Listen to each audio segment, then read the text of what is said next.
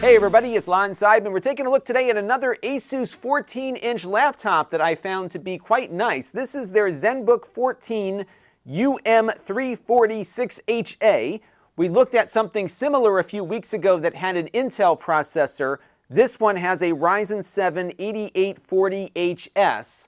And as configured, I think this is a really good value. It's selling at Walmart right now for $799 complete with an OLED display. And we're going to take a closer look at this and what it's all about in just a second. But I do want to let you know in the interest of full disclosure, this came in on loan from Asus. So we're done with this. It goes back to them. All the opinions you're about to hear are my own. No one is paying for this review, nor has anyone reviewed or approved what you're about to see before it was uploaded. So let's get into it now and see what this laptop is all about. Now, as I mentioned, this has an AMD Ryzen 7 8840HS processor.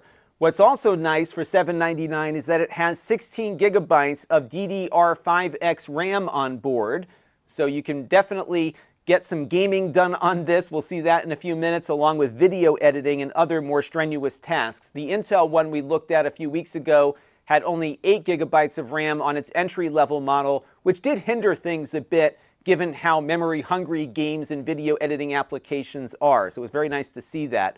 The RAM, however, is not upgradable. It also has 512 gigabytes of NVMe storage.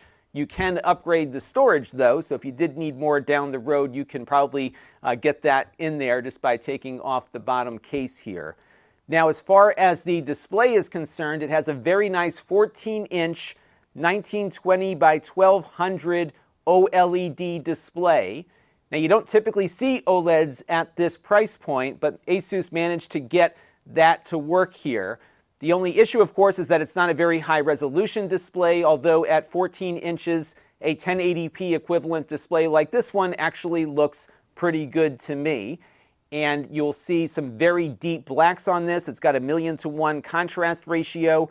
It also meets 100% of DCI P3 color. So if you're doing video editing or photo editing, the colors on here should be very accurate for that work. And because you have the RAM on board, you can actually do some of that work on here within reason, of course. Now, when the brightness is turned up all the way, it runs at 400 nits. There is a peak brightness of 500 nits when it's in an HDR mode. The display, as you can see, is also a touch screen, and you can, if you lay it flat here, use styluses with it as well, although it doesn't flip around into a two-in-one tablet but it is nice to have that touchscreen functionality on board here. Now, battery life on this is also very good. In fact, it will get way more than a workday, about 15 to 18 hours in my testing. That's provided you keep the brightness down on the display and you stick to some basic applications like web browsing and email and maybe some conferencing apps. If you are gaming or video editing on it, of course, that will impact the battery life a bit. But for basic work, I think this will very much get you through a long commute or uh, traveling somewhere via airplanes. So all in, a very nice laptop here that offers great battery life and as you'll see, very good performance too. It's not that heavy either. It comes in at about 2.82 pounds or 1.28 kilograms. It's got an all metal design here, so it feels very nice. The only thing that I noticed is that you do have to kind of hold the keyboard down to keep it from popping up on you when you lift the display up. But beyond that, a very nicely constructed laptop here that also performs quite nicely. Now, as far as ports, you do have a few on here worth talking about. Uh, you have a USB-A port here, a full-size one on the left-hand side. You do have some vents for its cooling system, which we'll talk about a little bit later. Additionally, you have two USB Type-C ports here.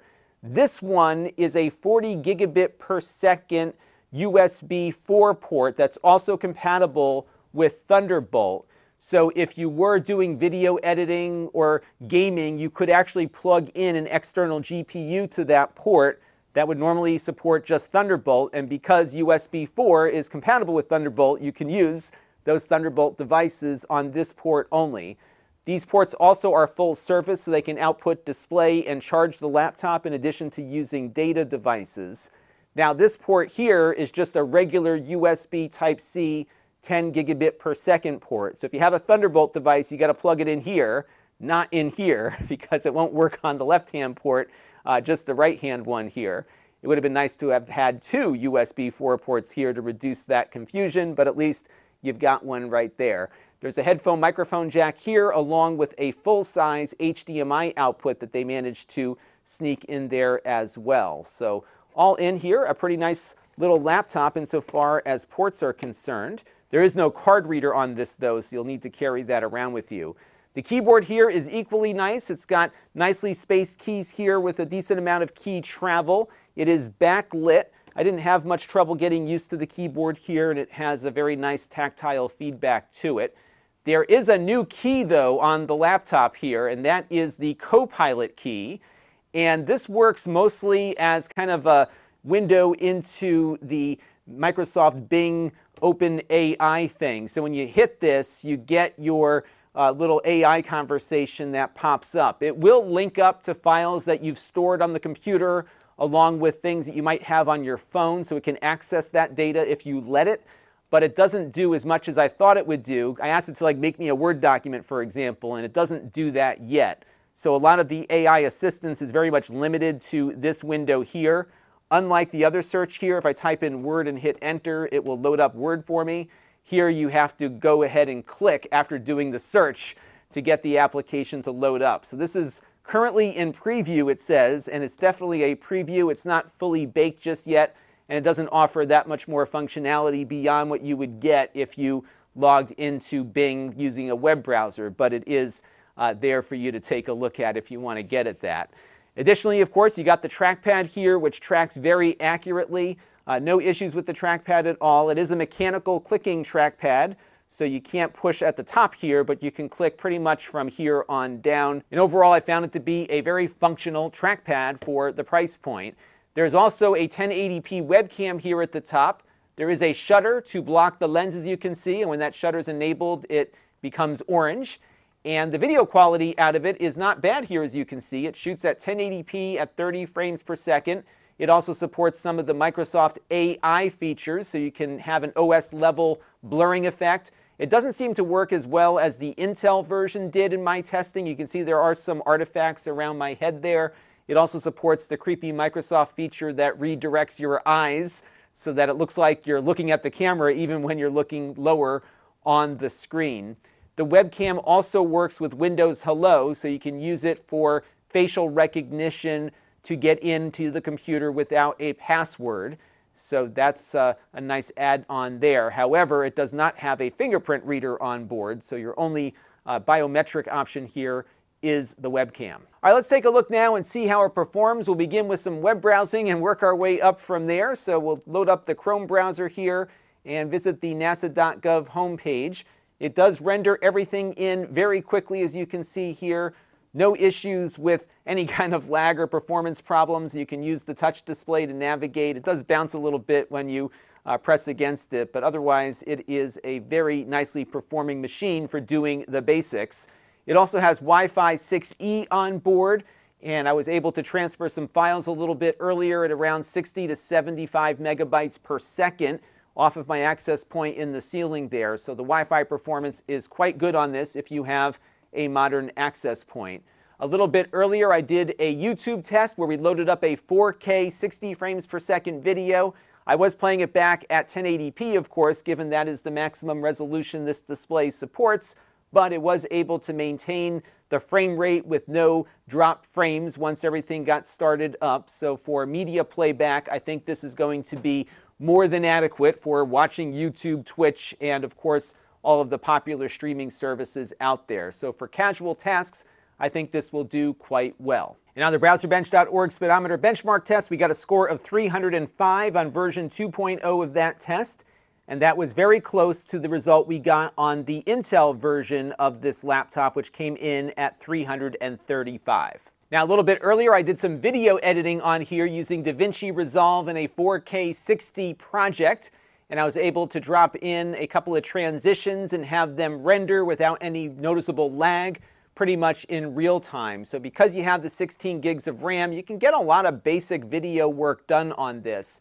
If you start pushing the envelope with 3D renders and all sorts of color grading, I think that, of course, will impact things more significantly. That's where you probably want to have that external GPU or perhaps just a more powerful computer. But for doing the basics like I do here on the channel, I think this will work quite well for that type of video editing. Now we also played some games on it, and this is Red Dead Redemption 2, running at the native resolution of the display, 1920 by 1200 at the lowest settings. And here we were able to get it to run at about 45 to 50 frames per second most of the time. Very, very playable. Not quite 60, but if you are a casual gamer that maybe has a more powerful computer at home, you can take this on the road, get your game caught up while you're hanging out in the hotel room or whatever, and sync up that save file when you get back to your more powerful computer. It is a playable experience here, as you can see.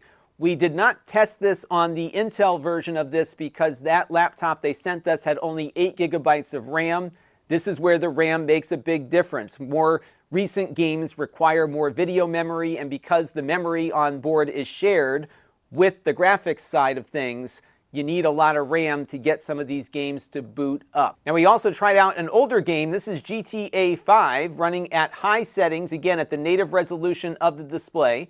And as you can see here, we are running north of 60 frames per second and the game looks spectacular. So if you've got some older games in your Steam library, those are likely going to run great on here, and the newer games will be playable if you adjust down the resolution and settings accordingly. And on the 3D Mark Time Spy benchmark test, we got a score of 3,175.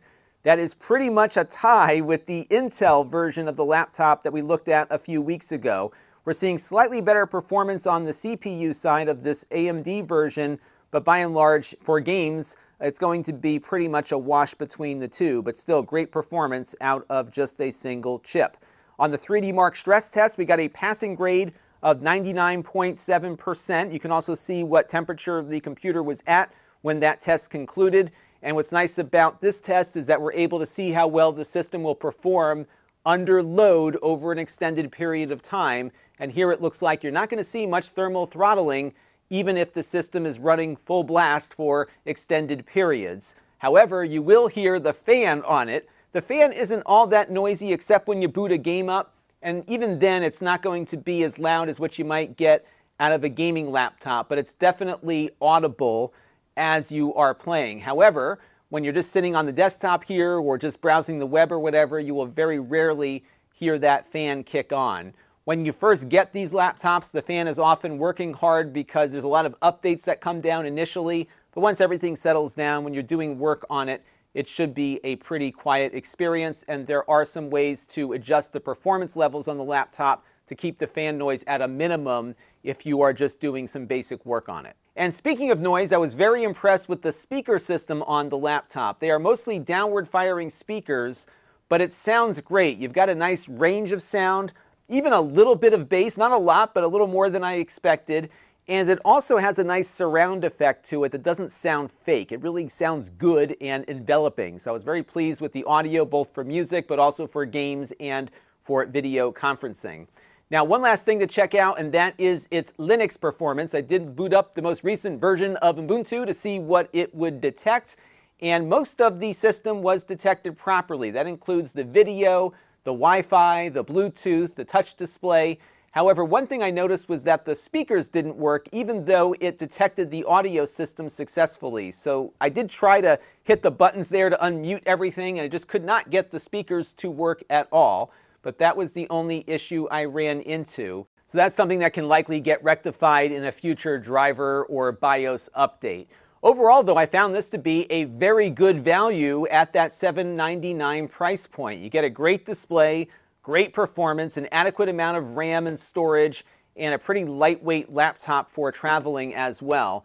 So far this year, this is probably the closest MacBook Air alternative that I've seen that I think gets close to Apple's offering, especially given the battery life you get on this one. So all in, I think a real winner here from Asus. And uh, this one I liked a little better than the Intel version, primarily because of how it's configured at the lower price point. That's going to do it for this one. Until next time, this is Lon Seidman. Thanks for watching. This channel is brought to you by the Lon.TV supporters, including gold level supporters Brian Parker, Budley, Hot Sauce and Video Games, Steve Green, And I'm DeBrown. If you want to help the channel, you can by contributing as little as a dollar a month.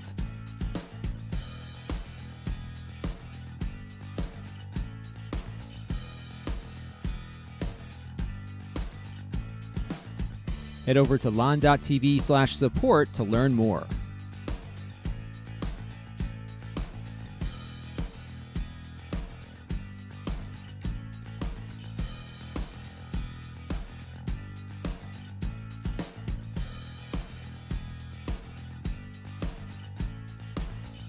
Don't forget to subscribe. Visit lon.tv slash s.